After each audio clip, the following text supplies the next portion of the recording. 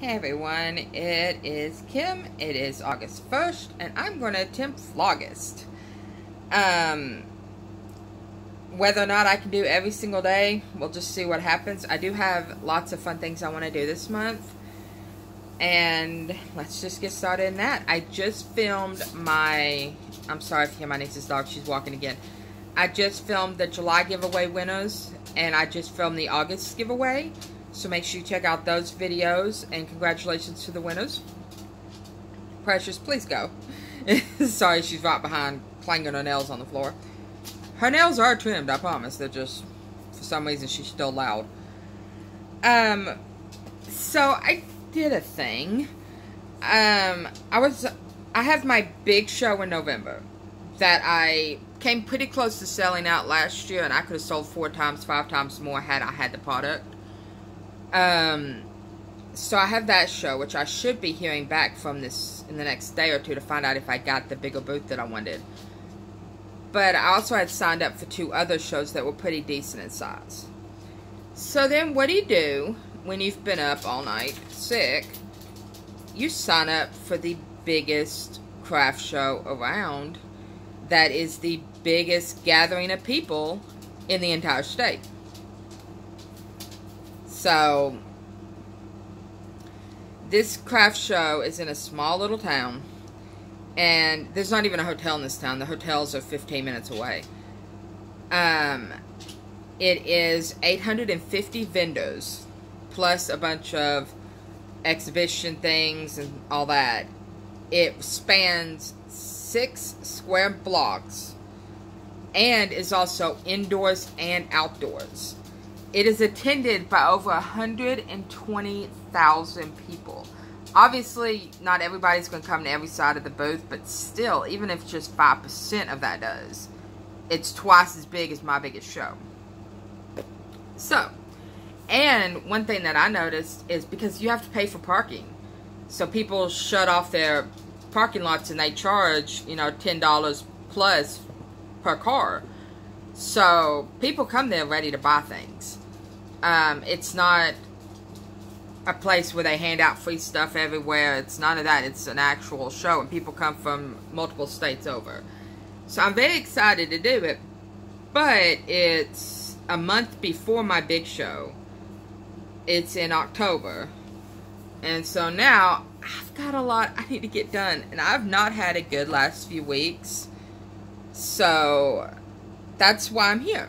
I want to try for Vlogust, For the month of August, I would like to get between 90 and 100 amigurumi done. I've got over 50 works in progress right now. And I would like to get a lot of those done because they're big, you know, good quality stuffed animals. I'd like to get some more miniature things done. I have some minis done, but I will show them tomorrow because I don't have the books out for them. Um, and then what I would like to do is focus on one of my favorite designers, and that is Left-Handed Crocheter. She is a great designer. I will link her Ravelry, her Instagram, her, and she also has a YouTube channel down below. She releases a new ebook every single month, and she does a lot of giveaways, a lot of sales. Wonderful designer. She has some free patterns as well. And so, to put it in perspective here, I printed out all my patterns, as you know I do.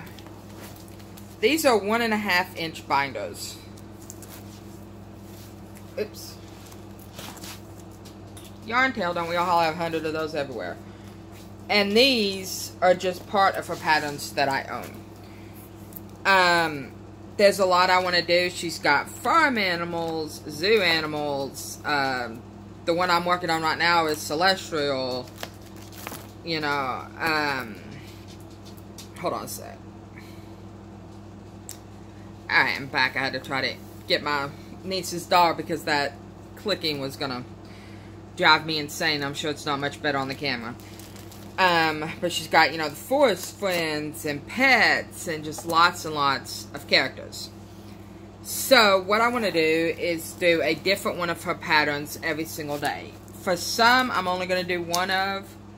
others I would like to do, um, you know, two or three of, depending on the size and the time. So I would like to try to get three or four items done a day between her patterns, my works in progress, and other items that I'm working on. So the pattern of hers for today that I'm working on is Neptune the Ogre. You can buy this pattern by itself. All of her patterns you can buy by yourself, or you can buy it as an ebook. And this is the in the Celestial Dreams ebook. It's got a um, Nebula, oh no, Pegasus. Sorry, Nebula Pegasus. It's got a fairy. Um, it's got a phoenix, a griffin, and a dragon. So this is the ogre. And I've been up working on this this morning. Here is its head. I actually had to order bigger safety eyes because almost all of her patterns, she uses really big eyes, even for the size thing. Um, so these are actually 20 mil safety eyes, and I just love how much character it gives him. Um, this is Tea Leaf by Red Heart Super Saver. Now I'm working on his body, and so I have both of the legs done. And now I'm getting ready to go up and do the body. This is again in Tea Leaf, and this is in Medium Thyme, both by Red Heart Super Saver. So he's going to be a pretty big size. She's got various sizes of patterns. That's why like this one will be the only one that I can get made at a time because it is bigger. Um, but she does have a lot of smaller ones too. So this is how far I am on this one. So hopefully tomorrow I'll show you a finished ogre and then also what I'm working on for tomorrow. Which I don't know what that's going to be yet. Depends on my mood. Also today, I have two other things that I would like to finish. If I can find their patterns without throwing everything on the ground.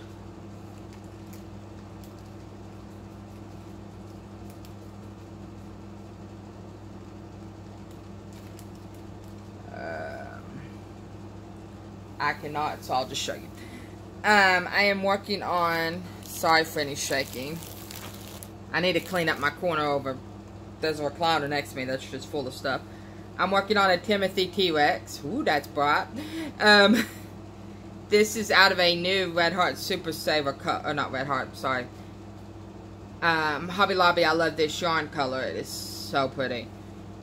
Um, I have all the pieces done for him. I just need to assemble them. I need to sew up his bottom, put his limbs on.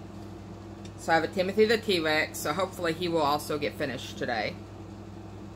He's a little darker than he's showing up in the camera, but he's still very pretty. Then the other one I'm working on, it is from the book um, Crochet Dinosaurs. You can find it on Amazon. I'll link it down below. But the... Um, publishing company actually released this pattern. You can find it on Pinterest, and it links back to their website. And I'll have that down below. Um, so I just used that one. And it is for, it's going to be a Triceratops. This is a lot darker than it's showing up in the screen, but this is Hobby Lobby. I love this yarn in orange and red. So he just needs, it's done similar to the Bronto, so I just need to sew up the center, put its, crochet its legs, crochet into the holes, and its tail. And I've already got its horns made too. So this is going to be a Triceratops. So hopefully, with any luck, today I will finish all three of these and have, you know, three really good size amigurumis for the day yesterday, so we know I do, you know, cups and things in epoxy, so I was playing with some of those yesterday. And I had these little 3D molds now. And so I have this little unicorn. And I'm still having problems with bumps on them, so ones that don't come out perfect are going to be, um, I'm probably just going to put them on my shelf. Um, because it's got, um, holes down at the bottom. But I think it turned out cute. This is glitter inside of epoxy. I actually have Sorry for that noise. Now Baxter is chewing on a water bottle. Um, I actually have a smaller one of these coming that I can turn into a keyring, but these are far too heavy to be a keyring, so it will be just, you know, a little figure to sit on. So I have the unicorn. One second. Alright, sorry about that. Trying to get this filmed so I can get other stuff done. I'm going to my friend's house in a little bit, and so I've got a few things I need to get done. And the dogs just want to be annoying today and be loud. But Baxter's done. He's now sitting in my lap. So what I was talking about, this is glitter suspended inside of epoxy. Um, so I'm going to do the smaller one and turn it into keychains, but these will make cute little figures. And they're good use for like um, leftover epoxy when I'm making cups. Also last night, get to it.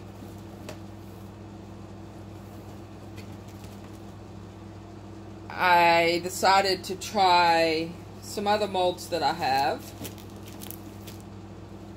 And I've made some coasters. This is again epoxy, so it's pretty much, you'd have to throw it quite hard to break it. And it um, is food safe and all that. So I made, I had put the red, white, and blue glitter, there's stars and um, circles and all some of it went to the back. You see the glitter a little better back there. And then I dropped mica powders down into it. So I made a couple of these. I think I'm going to make more of these for my shows.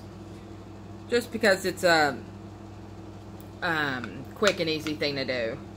But I'm going to do them in different colors and designs. So I made two coasters last night. So again, I don't have much to show you today. Hopefully throughout the month I'll have a lot more. Um, but definitely stick around and see what I make this month. Can I make it to 90 or 100 stuffed animals? We'll see.